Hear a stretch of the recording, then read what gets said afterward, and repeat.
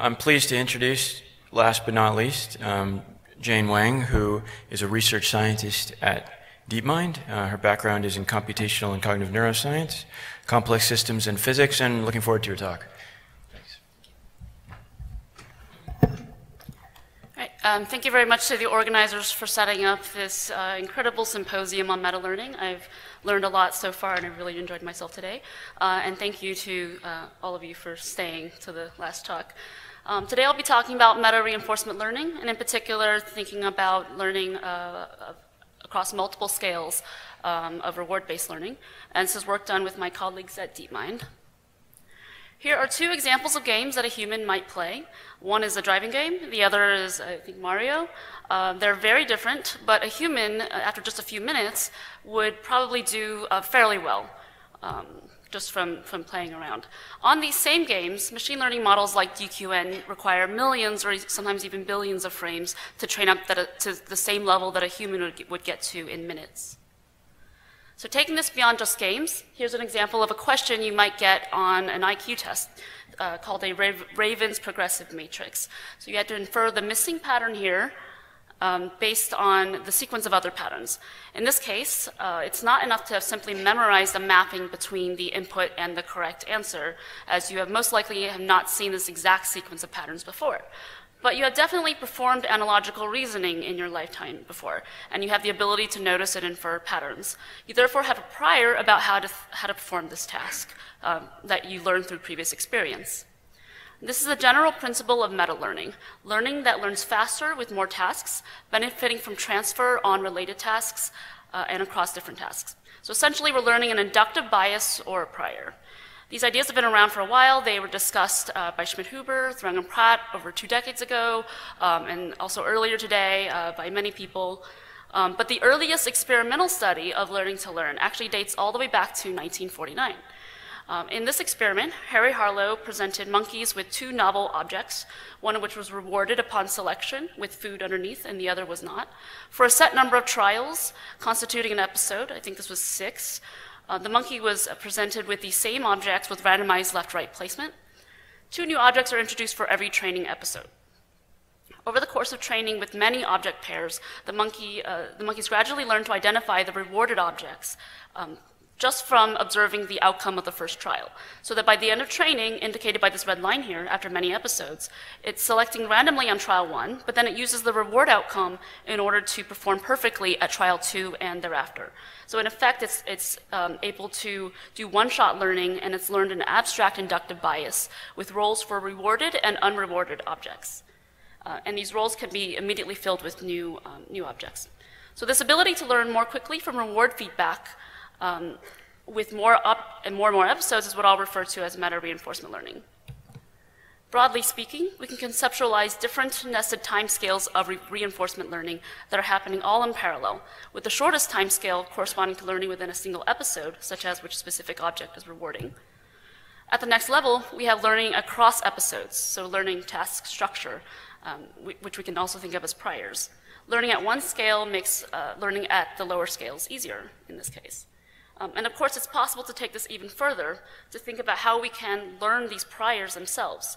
Uh, like, or sorry, how we can learn to learn the priors, um, such as having the notion of physical consistency, objects, object permanence, and physics. And this is the kind of learning that's done over the course of a lifetime or even multiple lifetimes, such as with evolution, uh, of the sort that we've been talking about um, earlier today uh, um, in, in, earlier se sections. But in this talk, we're just going to focus on the first two levels, and in particular, how we're going to be uh, learning structured priors. Now, there are many ways to build a prior into your system.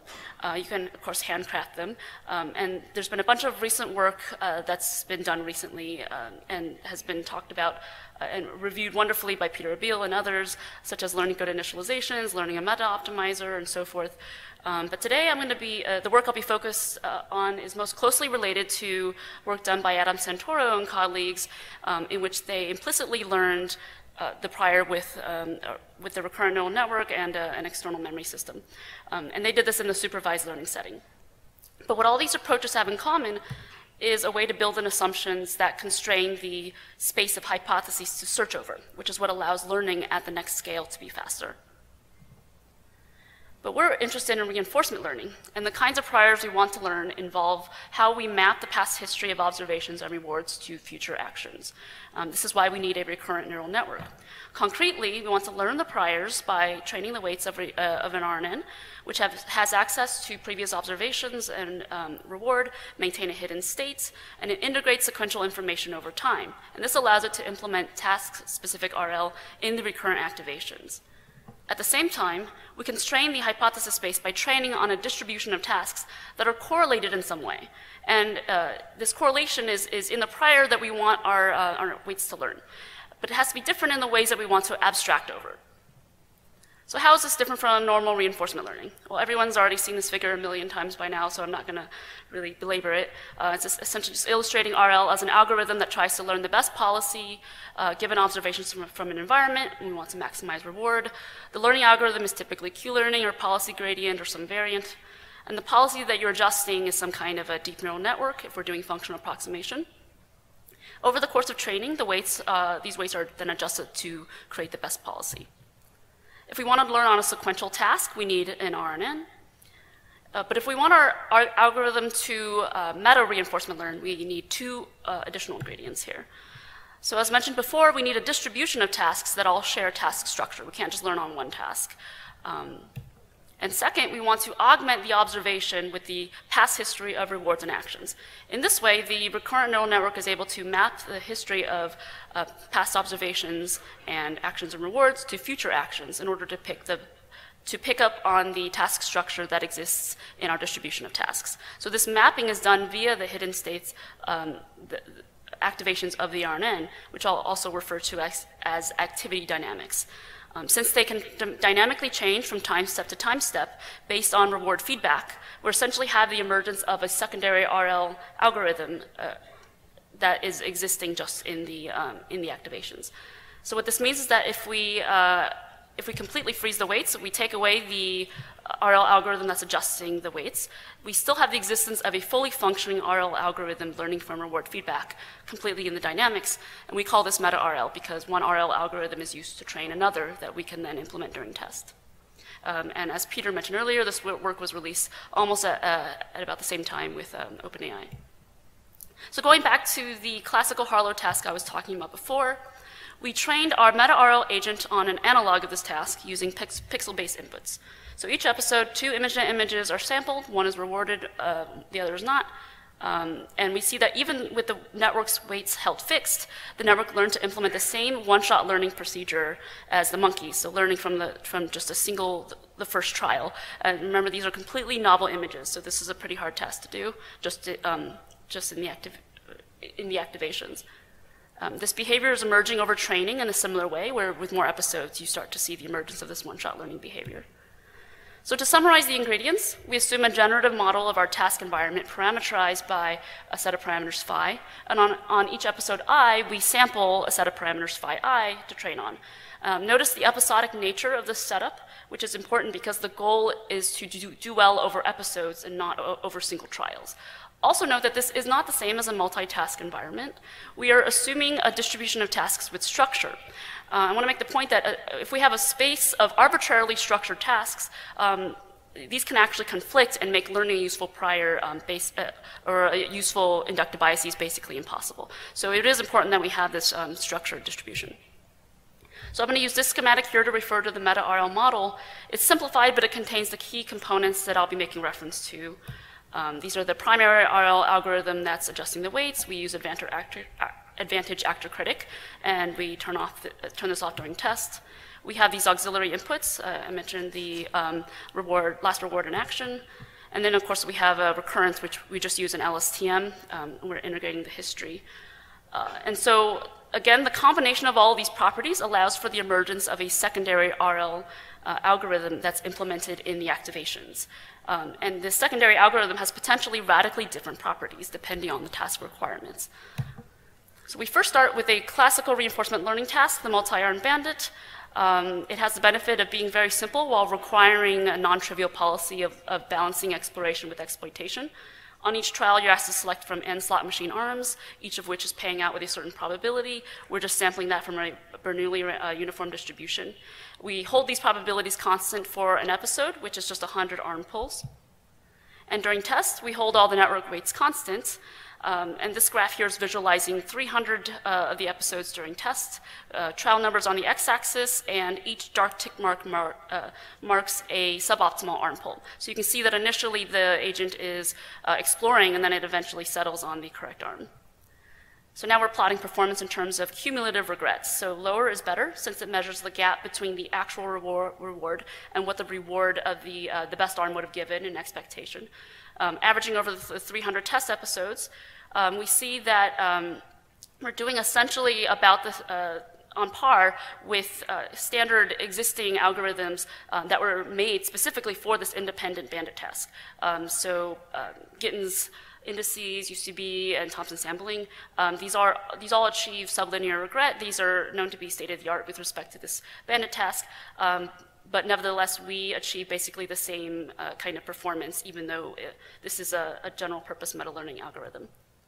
So we can ask now which aspects of the system I described are crucial to, um, to this task by conducting ablation experiments, where we take away each component and we see the effects on performance. So I'm just going to readjust the axes here. Uh, you can see that the ablation experiments show that losing access to any one of last reward, last action, and recurrence drastically reduces performance, so that now the model is performing with linear regret without um, any one of these. So meaning that there are a lot of episodes in which it never, never settles on the right arm. So all of these seem to be important.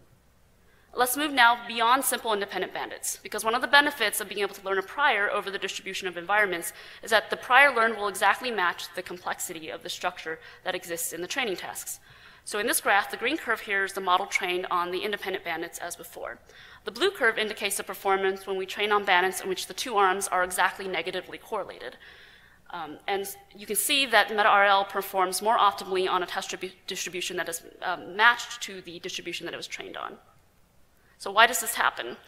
If this were neuroscience, we would have to implant some electrodes and record neuroactivity while rats are running around a maze, and it would be a big nightmare. Um, but it's not. Uh, this is a simulated network, so we have access to all of the unit activations, and we can relate them to the task parameters. An, uh, so we can now ask how the network is solving the independent and the correlated bandits differently. The two tasks have different structure in that the independent bandits has uh, two degrees of freedom, and the correlated bandits only have one. After we trained uh, two separate networks on these two different um, task distributions, we can now hold the weights fixed and examine how the hidden states look at the end of the episode for different arm reward probabilities. So again, we're looking at test performance. So we, we're holding um, the weights constant and we're, testing on just the correlated bandits to see how the activity dynamics are, differed, uh, are different based on how we train. We perform a dimensionality reduction on the activity of the uh, recurrent active activations, and we plot the first two principal components and color code according to the arm reward probabilities. Um, so as you can see down here on the lower right, for the model trained on correlated bandits, the system has found a very simple 1D manifold. Um, but the model trained on independent bandits has found a different, more complex manifold to represent the task. Um, this complex manifold is not optimized for correlated bandits, uh, which explains the worst performance. We train MetaRL on a variety of other tasks, but I don't have time to get into these today. Um, the outcome of these experiments shows that the RL algorithm uh, implemented in the recurrent activations of the LSTM is capable of conforming to a wide variety of task structure, including making choices to gain information, um, which, uh, even if it's not immediately rewarding, and displaying different effective learning rates based on the volatility of the, um, of the environment, even when the actual learning rate is held um, to zero. So one drawback with using RNNs to learn um, inductive biases and task structure is that you can't learn anything that extends beyond the length of your unroll. And the hidden state is reset uh, at the beginning of every episode. So you have effectively this time horizon in which you lose inf information. Um, in addition, learning priors is useful when the tasks that we encounter are randomly drawn from some distribution. But in real life, we often encounter the same situations uh, over and over again. And it'd be really useful to have access to these past experiences. So, for example, we often um, go to the same restaurants uh, again and again in our city. And when we go back to the same restaurant um, and we're trying to decide what to order, we usually use our specific memories of um, maybe the last time we were there and how we felt about the meal that we ordered. So how can we extend MetaRL to handle situations like this? We can think of each restaurant as being a different bandit task with different arm reward probabilities. But now each task is, uh, is tagged with an observable context, um, say the name of the restaurant, and we know, uh, so we know if we're re-encountering the same task. So we call this the contextual bandit. And what we want is a way to reload critical task relevant information from the past. Uh, the simplest way is to just use a lookup, lookup table like a dictionary. Uh, and and when we do that, the context now naturally serves as the key, because it's, our uh, it's our tag. And I showed earlier that by the end of the episode, the hidden state of the LSTM contains critical task-related information, like estimated reward probabilities and policy. So we can then store this uh, hidden state as the value um, in, this uh, in, this dictionary. And if we do this a few more times, um, we see, uh, after seeing some more context, um, so we're querying the dictionary at the beginning of each episode using k nearest neighbor lookup. When we see a completely new context, as, um, as happened in the last couple of, uh, of episodes, there's no match. This means that learning proceeds just the same way as with normal meta-RL. But now, if we see context one again, um, when we query our dictionary, we get a match. In this case, we simply initialize the hidden state of the LSTM to the values that we retrieved. This is, in a sense, allowing the network to continue where it left off the last time it was in this context. So how does this look in practice? Uh, as a first proof of concept, we used contexts that are just perfect keys, so um, just barcodes, meaning that there's no uncertainty about whether or not you've seen this particular context before. Um, we eventually extend it to, um, to, to, loosen this constraint. Um, we tested on a very simple distribution of tasks in which there are only two arms, uh, so the arm probabilities are always either 0.1 or 0.9. And now if we look at cumulative regret, we see that upon the first exposure to a context, we perform the exact same as in normal meta RL, meaning we need to still explore a little bit, we uh, achieve non-zero regret. But upon repeated exposure, when we come back to the same context, the regret is now zero, because agent is able to uh, simply reload the, the task critical information from the last time, and it completely eliminates the need to explore. So this is in effect arbitrarily elongated the time horizon over which we can learn uh, and is complementary to the priors that we learned about general task structure. So to recap, I've explained the various components that are required for meta-RL to occur, and uh, such as um, re recurrent dynamics that integrate past reward, um, history, uh, and observations, and past action. Um, primary, uh, we have a primary error-based RL algorithm that uses reward prediction error to adjust the weights. Uh, we need a distribution of interrelated tasks. Um, and the results and effects are that we have a, uh, the ability to absorb the structure of uh, our distribution of tasks as priors, and this leads to faster learning with more tasks and more training. Um, our learn RL algorithm is implemented in the recurrent activations, not in the weights, uh, and therefore it has the potential to be drastically different from the base RL algorithm and is matched to the task structure. So I've shown only a subset of the types of tasks that can be learned with meta-RL. I hope I've convinced you that a recurrent network has high expressivity in the types of RL tasks that it can learn to perform in its activations. I've shown you one possible extension of meta-RL that allows us to elongate the time horizon over which we can learn task structure. With more sophisticated architecture, we can continue to expand the scope of what we can train on to perhaps look at things like continual learning or lifelong learning. And with that, I'd like to thank my co-authors and colleagues at DeepMind, and i will take questions.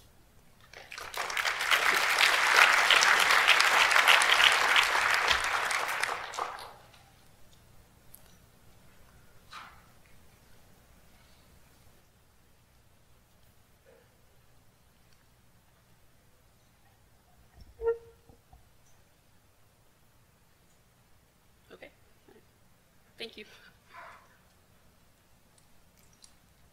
Oh. Uh, great presentation. Just a quick question. So, uh, what's the kind of performance we have when it's a correlated bandit problem? And also, what happens when, so for example, you, there are way more bandits than you could potentially explore. So, think of going to a restaurant. At the end of the day, you probably only have tried like 50% of the dishes or something like that. Let's say the cost of trying something completely new is, is very expensive, but then if there's beef dish A is good, you're kind of uh, hypothesizing on beef, um, beef dish B is also good, and you might at some point try to explore it. Yeah, so, uh, sorry, I don't quite understand the question. So, so if there's correlation between the bandits and Yeah. then you can't afford to train to like test everything, Yeah. then what's the kind of performance or intuition uh, in the in that scenario? Um, well, I- guess I'm seeing two parts to your question. So one, you're asking about if there's correlation in the uh, arm reward probabilities, and then the other is if there's way too many uh, arms for you to reasonably explore. Is yeah. that what you're? Yeah. Right. Um, well, well, basically, uh, so the reason that MetaRL can be quite powerful is because it can leverage um, these structures that exist in your task. So if you do have correlations that allow you to um, reduce the amount that you need to explore, so if, if say, by exploring a small part of, this, of uh, your arms, uh, a- few of your arms, that you don't really need to explore other arms because of these dependencies, then it would learn to pick up on this, and it would learn to do better than an algorithm that's just learning, uh, assuming independence in the arms. Okay. Yeah. So, and what happens if there's just way too many to explore? So if there's um, if there's way too many, then uh, I mean I think something like the um, the, the architecture that we have with the, with the dictionary, and we can reload the memory from the last time, um, is quite useful because you, um, in that case, you don't need to sort of uh, re-explore every single time. You can just think to something that maybe was good enough uh, the last time that you had tried. Um, okay, okay, yeah, thanks.